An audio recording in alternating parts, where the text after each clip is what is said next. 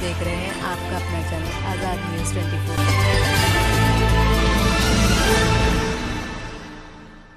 कार्यक्रम देखिए बड़ी दुर्भाग्य की बात है। आप स्वयं पठानकोट से ये आपको भी पता होगा कि जब नवरात्रि चल रही थी तो पठान पठानकोट के अंदर चलती रामलीला में कुछ आतंकी लोग आतंकी कौन होते हैं? जो शरारती तथा आतंक मचाते हैं। उन लोगों ने जाकर के रामलीला की स्टेज पर तोड़फोड़ किया। और नीचे बैठी महिलाओं को, बहन बेटियों को गाली गलौज भी किया। अभी तक भी उन बंदों का पता नहीं। सिर्फ़ और सिर्फ़ हिंदू जो संगठन है या हिंदू देवी देवताओं को ही टारगेट किया जाएगा, ये खाली एक की बार का नहीं है। उसके बाद आप देखिए अमृतसर में किस प्रकार से दशहरे वाले दिन, जिस दिन रावण का पुतला दहन होता है, प्रभु मर्यादा पुरुषोत्तम श्री रामचंद्र जी, हमारे भगवान जी का उन्होंने पुतला दहन किया। ये कैसी मानसिकता है? घटिया मानसिकता अभी तक भी उनके ऊपर पर्चा दर्ज नहीं है। ये सिर्फ़ और सिर्फ़, जैसे रवि जी ने बताया, ये शुरुआत है।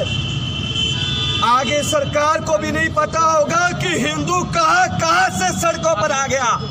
अभी तो सैकड़ों की संख्या में दसुआ, खन्ना, हर जगह प्रोग्राम हो रहे हैं। आज पठानकोट में हुआ है।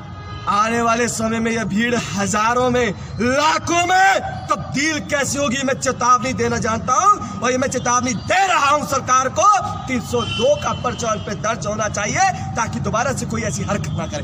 अपने धर्म के लिए अगर हमें लड़ना पड़े, झगड़ना पड़े, मरना पड़े या मारना पड़े तो हम लोग वो करेंगे, लेकिन अपना अधिकार लेकर के रहेंगे।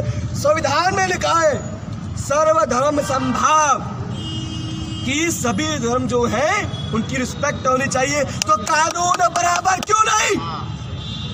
सभी धर्मों के लिए कानून बराबर कीजिए, सुनिश्चित कीजिए।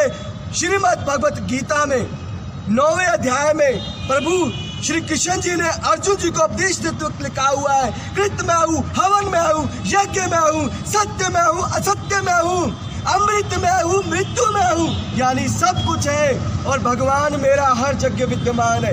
तुम चाहे किसी भी धर्म को मानते हो, भाई साहब किसी भी धर्म को मानते हैं, कोई भी इष्ट है कोई भी भगवान है, हर किसी के लिए उसका देवता जीवित है। मैंने यहाँ पे मंत्र पढ़ा मनोज्योति जुकनामा लात में प्रतिष्ठित किया, यानी प्रतिष्ठित करने का मतलब हुआ, उसमें प्राण प्रतिष्ठा हो गई। और तो मंदिरों में तोड़ फोड़ करते हो चेतावनी है, हज़ारों से आएँगे। ज़रूरत पड़ी तो नागा साधु भी आएँगे अखाड़े के संत भी आएँगे। तुम तो छो बच नहीं पाओगे। ये याद रखना जय करो वीर बजेंगे